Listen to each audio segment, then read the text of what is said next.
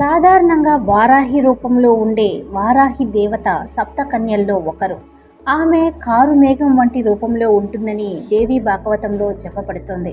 ఈ వారాహి దేవిని పూర్వకాలంలో రహస్యంగా రాజులు మంత్రులు సైనికులు తాంత్రికులు మాంత్రికులు శత్రువులు ఉండేటటువంటి వారు కొలిచేవారట. ప్రస్తుతం ఆమెను మాసాల్లో వచ్చే పంచమి నాడు భక్తులు కొలవడం చేస్తూ ఉన్నారు. కలియుగంలో వారాహి రూపంలో ఉన్న ఈ మాతను పూజించడం ద్వారా సర్వ శుభాలు చేకూరుతాయని విశ్వాసం. ఈమె మహావిష్ణువు అంశం. అలాంటి ఆమెను కొలిస్తే కోరికలు ఇట్టే నెరవేరుతాయి. ఇక మీ కోరికలు సులభంగా నెరవేరాలి అంటే ఈ పరిహారాన్ని ఇంట్లోనే చేయవచ్చు అంటున్నారు ఆధ్యాత్మిక పండితులు. వారాహి అమ్మవారికి ఈ దీపాన్ని వెలిగించడం ద్వారా మీరు అనుకున్న కార్యాలు తప్పక నెరవేరుస్తుంది.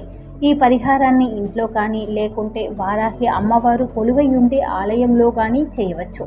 ఇంతకీ ఆ పరిహారం ఏంటో ఓసారి చూద్దాం. పెసర్లను ఓ ప్లేట్లోకి తీసుకొని చదునుగా చేసుకోవాలి. వారాహిదేవి పటం ముందు ఈ పెసలను నింపిన ప్లేటును ఉంచి దాని రెండు ప్రమిదలతో నేతి దీపం లేకుంటే నువ్వుల నూనెతో దీపం వెలిగించాలి. ఇలా వరుసగా తొమ్మిది రోజులు ఈ దీపాన్ని వెలిగించి వారాహి అమ్మవారిని పూజించాలి. ఇలా చేస్తే మీ సంకల్పం సిద్ధిస్తుందని వారాహిదేవి ఉపాసకులు చెప్తూ ఉన్నారు.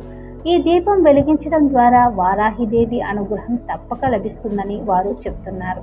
తొమ్మిది రోజుల తర్వాత ఈ పెసలను ఆవులకు మేతగా ఇవ్వడం ద్వారా లేకుంటే చెరువుల్లో వేయడం ద్వారా మీ సంకల్పం త్వరగా నెరవేరుతుందని ఆధ్యాత్మిక పండితులు చెప్తున్నారు.